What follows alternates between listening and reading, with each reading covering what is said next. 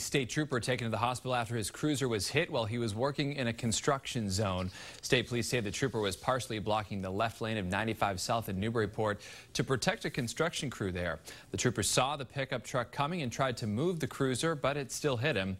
The trooper was treated at the hospital and released. The driver of the pickup, a 44-year-old from Gorham, Maine, was not hurt. He is being cited for failing to move over for an emergency vehicle.